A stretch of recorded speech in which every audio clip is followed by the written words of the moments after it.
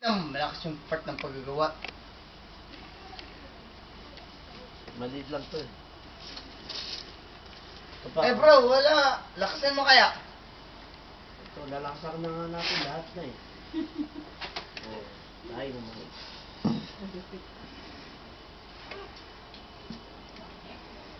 Wala na pala akong sapatos, di ko alam, man. Ano yung sapatos mo? Ayan, dun. Ay, Get bro, ready? yung sapatos ko, bro. No, Doon mo kaya, men.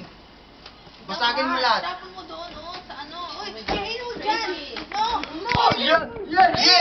Ay!